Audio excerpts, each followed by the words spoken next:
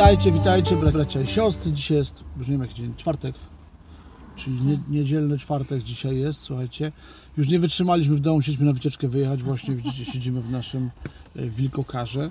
E, y, słuchajcie, wiele podpisów było pod tymi ostatnimi y, filmikami. Sylwia, ale ty pięknie wyglądasz, ale ten, ale w ogóle i słuchajcie, mi się aż głupio zrobiło, mówię, muszę ja tak popatrzę na te jest rzeczywiście tragedia. Rano mówię, muszę jakiegoś salonu fryzjerskiego poszukać. No i szukam, szukam, szukam, wszystko w Rzeszowie nieczynne, no bo koronawirus. No ale znalazłem, nazywa się Lena Corporation, słuchajcie. I poszedłem do, no, słuchajcie, jestem ogolony, mam ładnie brodę przystrzyżoną. No włosy już sobie teraz trochę zdążyłem po, pomieszać, bo już się dużo wydarzyło od wyjścia z salonu. Ale chciałbym jakiś wpisik ładny, żebym potem mógł nie pokazać, choć ona ma 14 lat i to wszystko zrobiła ona. Patrzcie, patrzcie, jaki wypas, no widzicie? Już spokojnie mogę umierać, bo moja córka sobie w życiu poradzi. Żono, jakoś dzisiaj dorównałem do ciebie tam w miarę. No. Więc, więc jakiś proszę też wpis taki, który by od Oleny chodzi, nie o mnie oczywiście. No. E, więc y, co że w ten czwartek? Czytamy słowo, słuchajcie. Pierwsze czytanie e, z Księgi Wyjścia. Mojżesz wstawia się za ludem. Pan rzekł do Mojżesza: Stąp na dół, bo sprzeniewierzył się lud twój, który wyprowadziłeś z ziemi egipskiej. Bardzo szybko zawrócili z drogi, którą im nakazałem, i utworzyli sobie posąg cielca odlanego z metalu, i oddali mu pokłon, i złożyli mu ofiary, mówiąc: Izraelu, oto twój Bóg, który cię wyprowadził z ziemi egipskiej. I jeszcze powiedział Pan do Mojżesza: Widzę, że lud ten jest ludem o twardym karku. Pozwól mi, abym rozpalił się gniew mój na nich. Chcę ich wyniszczyć, a ciebie uczynić wielkim ludem. Mojżesz jednak zaczął usilnie błagać Pana Boga swego i mówić: Dlaczego, Panie, płonie gniew Twój przeciw ludowi Twemu, który wyprowadziłeś z ziemi egipskiej wielką mocą i silną ręką? Czemu to mają mówić Egipcjanie? W złym zamiarze wyprowadził ich, chcąc ich wygubić w górach i zgładzić z powierzchni ziemi. Odwróć zapalczywość Twego gniewu i zaniechaj zła, jakie chcesz zesłać na Twój lud. Wspomnij na Abrahama, Izaaka i Izraela, Twoje sługi, którym przysiągłeś na samego siebie, mówiąc do nich: Uczynię potomstwo Wasze tak licznym jak gwiazdy niebieskie i całą ziemię, o której mówiłem, dam Waszym potomkom i posiądą ją na wieki. Wówczas to Pan zaniechał zła, jakie zamierzał zesłać na swój lud. Amen. Amen. Mówisz, kochanie, bo chciałeś się podzielić. E, Chciałam się podzielić to, co dzisiaj mnie bardzo dotknęło. E, Bóg codziennie zaprasza mnie, moje serce, też zaprasza Ciebie, każdego z nas, do jeszcze bliższej relacji z nimi. Wczoraj też o to się modliliśmy, aby każdy z nas miał jeszcze bliższą relację z Bogiem. I to dzisiejsze słowo, które bardzo dotyka moje serce, to jest ten moment, kiedy e, Bóg mówi do Mojżesza. Widzę, że ten lud jest ludem o twardym karku. Uczynili sobie tego y, cielca, ten posąg. Jemu oddają chwałę. On jest teraz najważniejszy dla nich. Ich serce wypełnia miłość do tego posągu. Oni teraz wierzą temu posągowi. Oni całą chwałę i to, co zawdzięczają w swoim życiu, teraz oddają chwałę temu posągowi. To ten Bożek uczynił te dobro w ich życiu. E, ponieważ miłość Boża jest zazdrosna, więc Bóg mówi: e, Pozwól mi, Mojżeszu, pozwól mi, abym rozpalił, e, aby rozpalił się gniew mój na nich. I tak dalej, chcę ich wyniszczyć. Dla mnie to jest niesamowite, że Bóg w spotkaniu z Mojżeszem mówi do niego: Pozwól mi, pozwól mi to zrobić. Pyta się jakby Boga, Bóg pyta się Mojżesza o takie pozwolenie. Rozmawia z nim i mówi: Pozwól mi to zrobić Czyli ma z nim relację. I ma, ma głęboką relację e, z Mojżeszem. Spotykali się zresztą w cudowny sposób. Mojżesz jest też ukochaną moją osobą, bo to on spotykał się z Bogiem twarzą w twarz e, i to była wielka łaska. I, i teraz decyzja Mojżesza, e, który, gdzie Bóg mówi: Ja ich wyniszczę i ciebie uczynię, Mojżeszu, ludem wspaniałym, ludem wielkim. Będziesz wow. I Mojżesz teraz musi podjąć decyzję w swojej głowie, w swoim sercu, co wybiera tą chwałę, którą Bóg mu obiecuje, w zamian za zniszczenie ludu, czy jednak zupełnie coś innego. I serce Mojżesza, czyste, święte, mówi do Boga: e, Boże, zaniechaj swojego gniewu. Zaniechaj swojego gniewu. Niech Egipcjanie, wrogowie Twojego ludu, tego ludu, niech nie mówią, że wyprowadziłeś ich po to, żeby ich wyniszczyć. Zaniechaj, zobacz na Twoje błogosławieństwo, jakie dałeś Izraelowi. Zobacz, jakie Ty dałeś im błogosławieństwo. Zaniechaj tego gniewu. I, I Pan spełnił to, o co On prosił. Pan spełnił to, o co On prosił. Tutaj też mi się przypomina modlitwa Jabesa, nie? kiedy Jabez wołał e, do Boga, jest to samo e, zdanie właśnie, że Bóg zrobił to, o co On prosił. I to jest niesamowite, jak Bóg słucha, jak jest zasłuchany e, też to, w to, co, co ja do Niego mówię co ja do Boga mówię, jakie słowa do Niego wypowiadam. E, Jest we mnie teraz w tym czasie bardzo dużo takich skrajności e, wewnętrznych, pytań, mam bardzo dużo pytań, pojawia się dużo wątpliwości. Ten czas, kiedy nie możemy posługiwać, kiedy nie możemy iść do Was, spotykać się z Wami z twarzą w twarz, Wam głosić. Ja, ja Was nie widzę, mi tego brakuje, ja nie widzę ludzi, ja potrzebuję tego kontaktu. Jest to dla mnie bardzo trudny pod tym względem czas i mówię o tym Bogu. Powstają też różne, różne trudne pytania w mojej głowie, ale Bóg nie pozostawia mnie bez odpowiedzi. Mówi, ja chcę mieć z Tobą relację i to jest dzisiaj dla mnie tak głębokie. Słuchajcie, bo nie chciałbym teraz całej Ewangelii czytać, nie? ale zobaczcie to jakby podsumowanie. Oczywiście przeczytajcie sobie wszystkie słowa, bo są piękne, całe są dzisiaj piękne psalmi aklamacje, ale ta zobacz, mówi Jezus, słowa Jezusa z Ewangelii dzisiaj, gdybyście jednak wierzyli Mojżeszowi, to i mnie wierzylibyście. Czyli znowuż pokazuje mm, ten, ten kierunek znowuż jest skazany na, na słowo. byś- Gdybyście wierzyli Mojżeszowi, to i mnie byście wierzyli. Czyli uwierzcie Mojżeszowi we wszystko. W co dzisiaj możemy uwierzyć? To, co mówi Sylwia. Bóg miał z Mojżeszem tak bliską relację. On chce mieć taką relację z Tobą. Uwierz Mojżeszowi, że to jest możliwe. To Mojżesz jest świadkiem tego, że to jest możliwe. Ja wiem, potem wspomnisz na zakończenie e, pięcioksięgu i powiesz, no dobrze, ale jest napisane o Mojżeszu, że on był najświętszym z ludzi na ziemi, tak? No to okej, ale co stoi na przeszkodzie, żebyś Ty był kolejnym najświętszym z ludzi, nie? Świętymi bądźcie, bo ja jestem święty, mówi Bóg. Słuchajcie, ja bym chciał dzisiaj powiedzieć świadectwo, e, bo, bo to jest dla mnie bardzo trudny czas. Sylwia widzi, jak ja się zmagam z tym wszystkim. Ja nigdy nie głosiłem do kamery, zawsze głosiłem w świecie z ludźmi, tych ludzi tysiące. I bardzo dużo tych rekolekcji miałem i mogę powiedzieć, że się już stałem, można powiedzieć, rekolekcjoholikiem, tak, że cały czas to robiłem. Teraz siedzę w tym domu i się nie umiem odnaleźć. Zacząłem trochę ćwiczyć na perkusji, zacząłem trochę ćwiczyć na gitarze, wracam do jakby tym starych rzeczy. Tak mi się to z jednej strony troszkę kojarzy z y, świętym y, Piotrem, który w 21 rozdziale idzie znowuż łowić ryby, pamiętacie, nie? Bo, no, czyli jakby wraca do swojego tego pierwotnego tam stanu i powołania.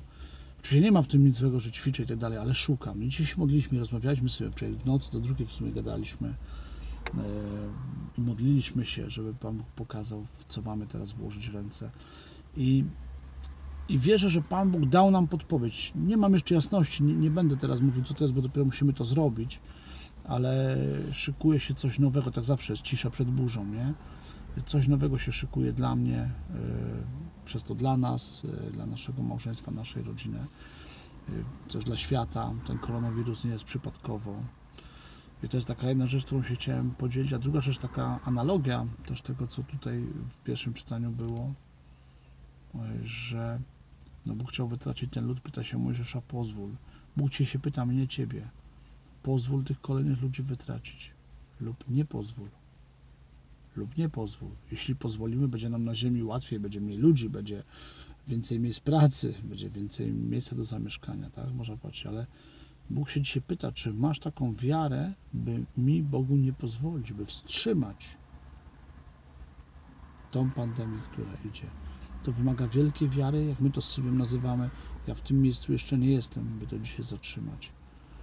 Ale zawalczmy, może będzie jutro. Więc kochani, pomódlmy się teraz tak za Mojżeszem, który nam daje dzisiaj taki fajny wzór tego kroczenia za Chrystusem. Ojcze, no Ty nas znasz. Ty jesteś wielki, Ty jesteś święty, jesteś potężny. Wiesz, czym my dzisiaj stajemy przed Tobą. Ty widzisz, jakie my nowe rzeczy odkrywamy. To już drugi tydzień prawie tej kwarantanny, mm, dużo czasu na zatrzymanie. Ja widzę, jak ciężko jest zatrzymać.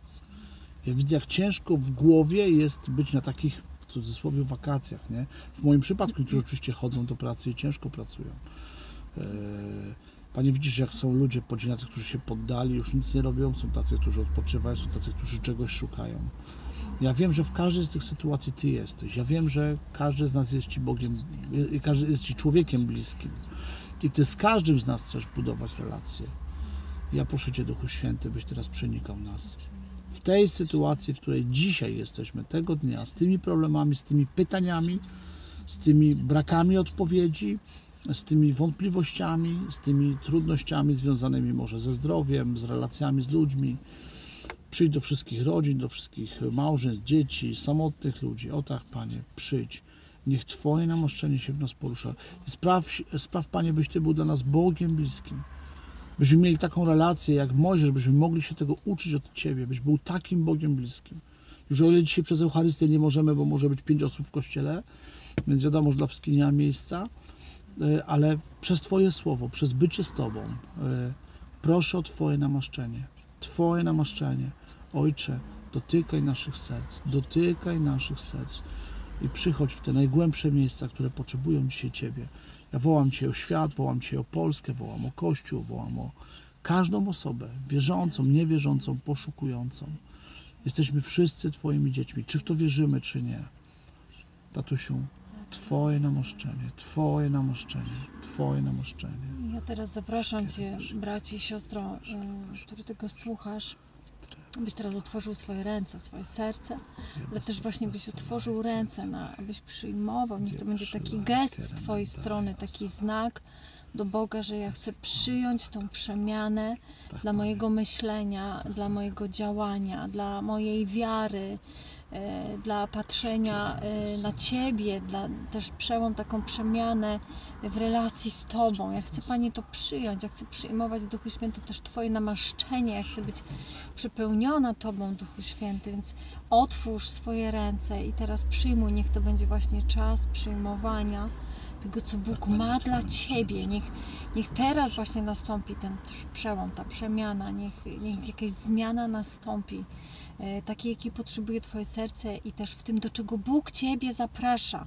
Do czego Ciebie Bóg zaprasza, tak jak zaprasza Mojżesza, tak jak zaprosił e, proroków, tak jak zaprosił Maryję, tak jak zaprosił Piotra i Jana i e, Pawła. e, I niech teraz właśnie Pan objawia swoją wolę co do każdego z nas i przyjmuj to namaszczenie Ducha Świętego. Ty, Duchu Święty, Amen. Tak, wypełniaj nas. Ja chcę być Tobą Wielki, przepełniona. święty, Ja chcę, by moje myślenie całkowicie było poddane Tobie, Duchu Święty, moje pragnienia, moje marzenia, wszystkie talenty, które złożyłeś we mnie, Panie, niech będą poddane Tobie, niech one przynoszą chwałę Tobie, niech teraz ten czas przynosi chwałę Tobie w tych wszystkich przemianach, które się w nas dokonują, niech ten czas przynosi Tobie chwałę, Tobie chwałę, niech teraz Każde uzdrowienie, które się teraz dokonuje, niech przynosi Tobie chwałę, Ojcu Przedwiecznemu, O, tak, Bogu Panie. jedynemu, Bogu, który jest pełen mocy i potęgi. I dla Ciebie, Panie, nie ma żadnych granic, Tak, nie ma Panie. żadnych przeszkód, by działać, by teraz nas wypełniać mocą i by Twoja moc, Panie, rozszerzała się na tym świecie. Dla Ciebie nie ma żadnych przeszkód. I, Panie, Amen. ja też e, wyrzekam się wszelkich przeszkód, które, które są gdzieś we mnie, w moim myśleniu, wszelkie niedowiarstwo, Panie. Wyrzekam się wszelkiego niedowiarstwa w to, co Ty możesz uczynić z moim życiem, w to, co Ty możesz zrobić w tym świecie i w tym czasie z tym koronawirusem, Panie, to, co Ty możesz zrobić. Za- Zarać memu niedowiarstwo, Panie. Niech teraz przyjdzie przemiana w wierze, Panie, w moim Amen. myśleniu, w moim Amen. sercu. Tak, Panie. Y, Żebym nie ograniczał Ciebie, żebym nie ograniczał Ciebie w moim życiu. O tak. O tak, Panie. Ja tak. chcę więcej Ciebie, Panie. Tak, więcej ja Ciebie, tak, zanurzać się w. Tobie. Amen, I amen. oddawać Tobie wszelką Amen, chwałę i wszelką cześć, Panie. Chwała Ci, Panie. Słuchajcie, mam obraz, cały czas mnie prześladuje i znowu przychodzi, więc muszę się podzielić. Widzę kobiece dłonie y, na klawiaturze. Y, pewnie pianina czy czegoś. Y, może to Ty to oglądasz, nie wiem, dawno już nie grałaś, a Bóg Cię żebyś do tego wróciła. Y, to taka może drobna rzecz, a może zmienić Twoje życie pięknie. Więc Bóg Cię zachęca do tego, by powrócić w to miejsce. Dziękuję Ci, Ojcze, za to. Ja Też- mam, mam obraz ym, takiej s- nieładnie y, zszytej rany y, i, i tobie to bardzo przeszkadza. y, Też wstydzisz się tego y, na swojej skórze. I Bóg teraz przychodzi uzdrawia tą skórę z tej, z tej źle zrośniętej skóry, z tej blizny, która powstała po szyciu tej rany. Bóg teraz przychodzi z wielką mocą do twojego ciała. Chwała Ci. Ja też mam obraz wielkiego serca i takie wytłumaczenie tego, że jest osoba, która y, sama siebie nie kochała, nigdy nie lubiła siebie. I z taką perspektywą, mm, też dzisiaj oglądasz ten film w tym momencie, nie kocham siebie. No i też tym samym ta osoba nigdy nie czuła, że Bóg Cię kocha, że Bóg Cię naprawdę kocha. I Bóg teraz czujesz to fizycznie, że Bóg wypełnia miłością Twoje serce.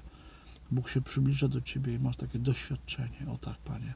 I proszę, by to doświadczenie było jeszcze mocniejsze, jeszcze piękniejsze, żeby było trwałe, by na stałe przemieniło życie tej osoby. Dziękuję Ci, Panie. Dziękuję Ci, Panie. Bądź uwielbiony, bądź uwielbiony, bądź wywyższony. Też I też mam powiedzieć do Kasi, nie wiem jakiej oczywiście, Kasiu, Pan Bóg mówi, że dzisiaj się Twoje cierpienie skończy, to Twoje utrapienie, z którym się zmagasz, ono dzisiaj się skończy. Już dzisiaj Bogu dziękuj y, za to, co On teraz robi. Chwała Ci. Pan Bóg też przychodzi do, do kobiety, która, do małżeństwa, gdzie y, żona, y, czujesz się jakbyś była w takim więzieniu. Nie widać tych krat, ale czujesz, właśnie masz to doświadczenie więzienia, a Bóg mówi do ciebie, y, byś przebaczyła i twój mąż jest przestrzenią, w której Bóg chce uzdrawiać, y, przez męża chce uzdrawiać ciebie, twoje serce. Y, Więc on będzie wolnością, przestrzenią nowej wolności dla Twojego życia, y, ale zaprasza Cię Pan do przebaczenia właśnie teraz w tym czasie. Y, Teraz. Amen. Amen. Chwała Ci. Chwała Panie. Wiem, że jeszcze wiele więcej rzeczy robisz, będziesz robił. Ale teraz to my już ruszamy. Trzeba na wycieczkę, żona tu musi przytrzymać, żeby nam nie poleciał. Chwałę Pana, jedziemy się kawałek przejechać. Pozdrawiamy, O, życzymy Wam pozdrawiamy wspaniałego Bożego z czasu. Rzeszowa. O, możecie z nami na wycieczkę pojechać. Objedziemy szybko kulę ziemską i wrócimy do Rzeszowa. Z miejsca parkingowego numer 4 na miejsce parkingowe numer 7. Uuu, do zobaczenia. Zostańcie z Bogiem. Pa,